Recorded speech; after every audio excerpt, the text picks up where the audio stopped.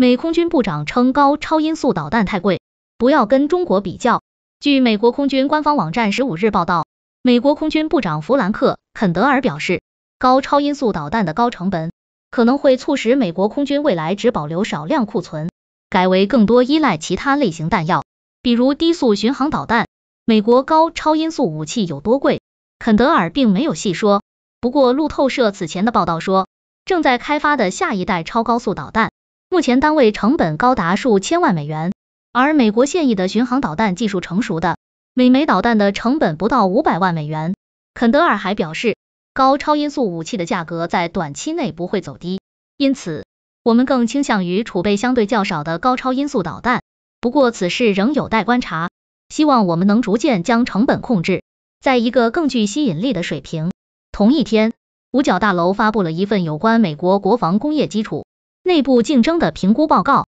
警告，研究高超音速专业技术的公司太少，从而导致成本居高不下等问题。据悉，美国军火商巨头洛克希德马丁公司和雷神公司都在为五角大楼研制高超音速武器。五角大楼二零二二财年的高超音速研究预算请求为三十八亿美元，高于前一年的三十二亿美元。美国国防部负责研究和工程事务的副部长徐若冰。此前也曾在华盛顿举行的美国陆军协会会议上说，我们需要弄清楚如何推动让高超音速武器更实惠。但从肯德尔的最新表态可以看出，美军并没找到办法解决这一问题。二零二一年八月，在加利福尼亚州爱德华兹空军基地进行的测试中，美军士兵在 B 五二 H 轰炸机机翼下安装了空射快速反应武器，其后果之一是，某些项目烧钱已经烧不起了。肯德尔说，诸如 AGM 一八三空射快速反应武器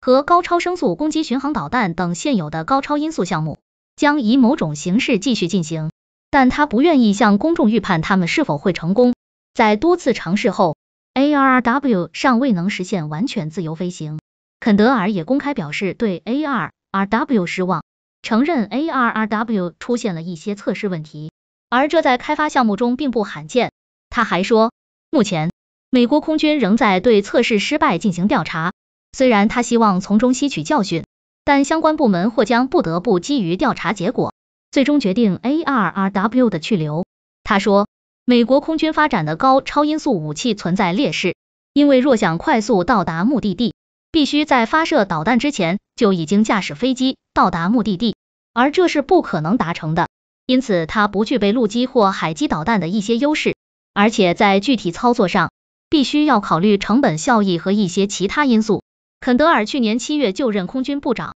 他最著名的言论是，当有人问他上任后的优先事项是什么时，他的回答是：我有三个答案，中国、中国和中国。现在，肯德尔谈到高超音速武器，再次毫不犹豫的扯上中国，很明显，就是因为中国在研发高超音速导弹技术。所以美国也在以同样的方式进行追赶。肯德尔说，不过他认为，虽然美中两国都在积极发展高超音速导弹技术，但根据各自战略有着不同的需求，所以美国与中国需要的武器不一样。中国的目标是让美军敬而远之，而美国则需要高超音速技术作为威慑力。此外，美国需要能够打击多个移动目标的高超音速导弹。但其早期研发的版本更适合打击固定目标。就在上个月，肯德尔也表达了同样的意见，不要在高超音速武器上照搬中国。